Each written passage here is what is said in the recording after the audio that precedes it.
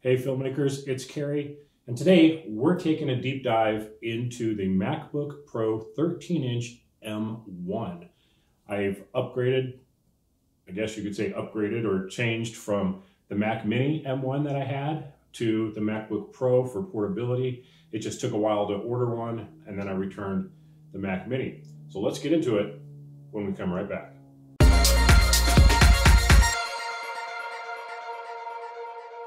If you were watching some of the videos I did from uh, November, December-ish, I did some comparisons with the Mac Mini M1 with DaVinci Resolve and just how well it worked. And I, I was pretty floored because what I had got was the $699 8 gig model and it worked great. But I'm on the go a lot. On the weekends, I'm usually not around my office and I want to do editing of my videos.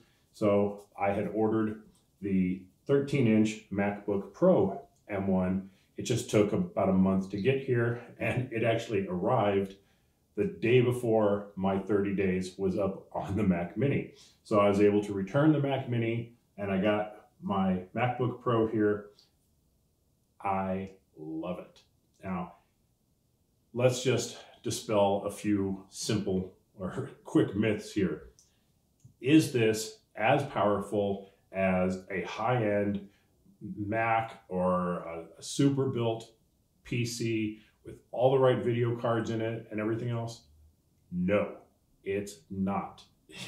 if you are going to be doing some hardcore color grading, you're going to be adding sharpening and noise reduction and all that stuff, it's going to bog down. Now, it still does better than my previous 2016 MacBook Pro.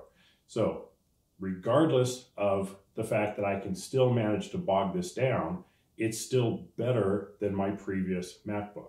So there's that. But does it compete against a machine that you're going to spend thousands of dollars for? No. However, when it comes to certain tasks, which are the vast majority of the things that I do, this thing kicks butt. The two things that I do the most are going to be DaVinci Resolve and Photoshop. Both of those are optimized for the M1. Now, I, again, I said there are some features in DaVinci Resolve that will still bog this down, namely things like noise reduction. Fusion actually works extremely well. Of course, I can still bog it down in certain Fusion uh, projects. That's to be expected. It's not a high-end machine. It's only well, let me tell you what I got.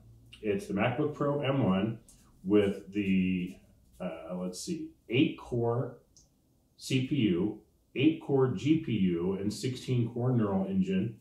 I got the 16 gigs of RAM and the 1 terabyte internal SSD, and the price was $16.99. So it is under $2,000 for this, this laptop. And for the things that I do in DaVinci Resolve, it's way better than anything I have used in the past. The other thing that really, really stands out with this is the battery life. I have actually gone an entire weekend editing footage on here and not plugged it in. The battery life on this thing is crazy good. So that is a huge plus on here. The negatives. Well, my 2016 MacBook Pro had two USBs on one side and two USBs on the other side. That's four. This one has two.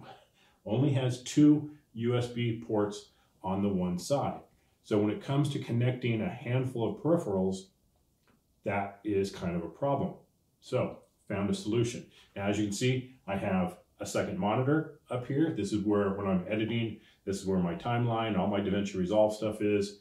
I keep my MacBook screen for my web browser, email, things like that, so I can, you know, kind of stay on top of everything else or look something up or Photoshop or whatever that I need to work on and DaVinci Resolve resides up here. So that's one thing, that's one device. Second, I have my SanDisk Extreme Pro. That's kind of my work drive. So that's a second device. I have power. So you got to think about that. Power takes up a port. I have an external drive over here where I do all my backups. Okay, that's another device. Over here, I have, probably can't see it, I have my Zoom H5 connected to my boom mic up here. That's connected via USB. There's another device. So I have a handful of peripherals, but only two USB ports. So my solution was the IOGEAR GUD3C05 uh, hub. You can see it takes up a bit of space up here, this whole thing, but this is well worth it. It has a USB-C port over here. This is just a power pass-through.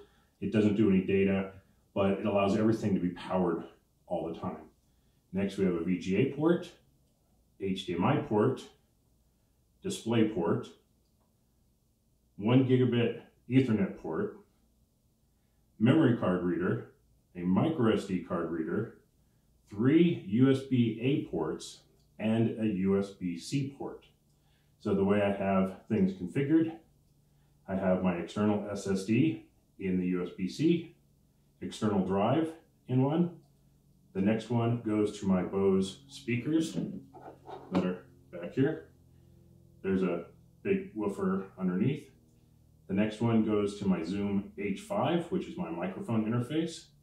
Then the display port powers the second monitor and the power pass through here. So when it comes to the MacBook, I have one connection, which still leaves me an additional USB-C port. So if I have one of my other drives, maybe I've been using uh, another drive out in the field or something, I can still plug that in or a different memory card reader or whatever I need to do, I have that extra port. Now, while the IOGEAR Hub is not the cheapest thing out there, it's about 150 bucks on Amazon. I'll put a link in the description below because I, I do think it's a great, great product and everything works beautifully. Now, even though there is the display port, the HDMI, and a VGA, VGA, I have another monitor over here that is HDMI. And with the MacBook Pro, it doesn't want to drive all three of these. So not a big deal. Um, it's not a showstopper for me. I have this monitor for DaVinci Resolve and the main screen here. Everything works really well. I have them arranged, I just drag stuff up into that screen. So for me, this is a great solution. The MacBook Pro M1 with DaVinci Resolve in Photoshop is super good. Very happy with it for what I do. And remember, I'm going to use that as a big, big qualifier. If you do much heavier grading, much heavier editing, a lot of stuff in Fusion, eh, this may not be powerful enough for you.